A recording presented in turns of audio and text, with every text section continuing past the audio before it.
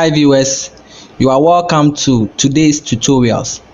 In these tutorials, I am going to show you how to save a new document or a new file in Microsoft Word 2016. Now, on my screen we have Microsoft Word open and we have some content, we have some information in this Word document and on the title bar we have the default name as document 1 and the program we are working with is Microsoft Word and this is a new document which we want to save it on our computer desktop for future reference. So when you move through this document I have some text some images.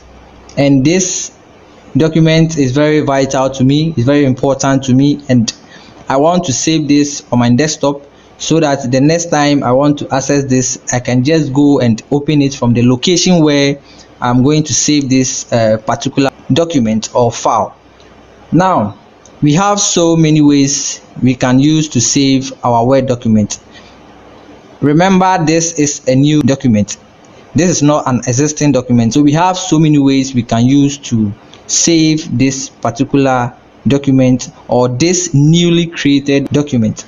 Now the first approach which you can use to save this document is to move to the top left corner where we have the file menu this is the file menu. When you have a once click on it you are going to have this backstage view which you are going to have so many options you can choose from. And in this very tutorials we are going to save this particular document. So we are going to use our save as command. And in this option we have save and save as command.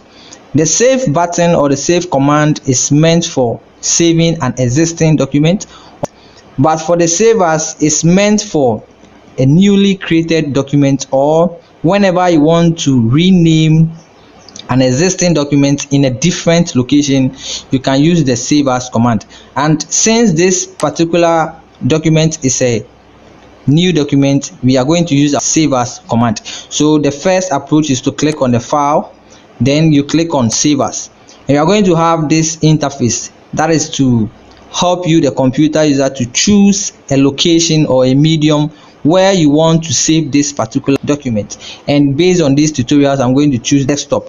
And when you click on the desktop you are going to have this dialog box that is going to prompt you to type your file name and also click on the save button. So this is the first approach to get to the backstage view and save your word document or your newly created document. Now since this is a new document you can use your keyboard shortcut Ctrl plus S on the keyboard. And this is also going to jump you to the backstage view. And you can choose and you can see that the save as command is already highlighted meaning you should use the save as command to save this document.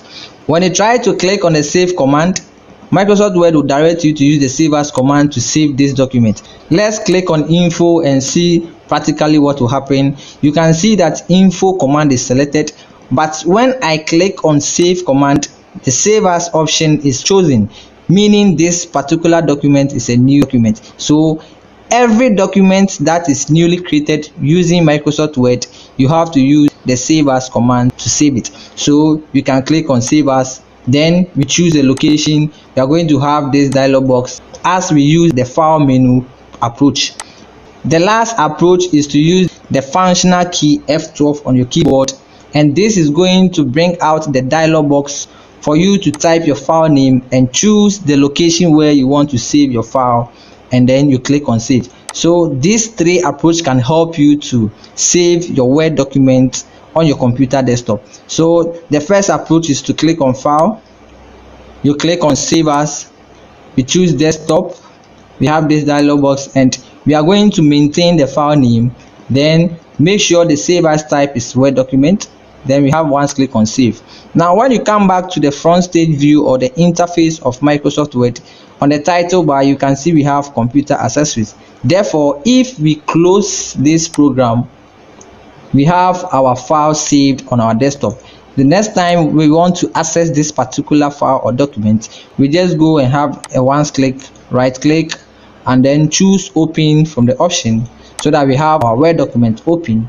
Then we perform any task we want to perform with this particular document. So this is how to save a word document on your computer desktop.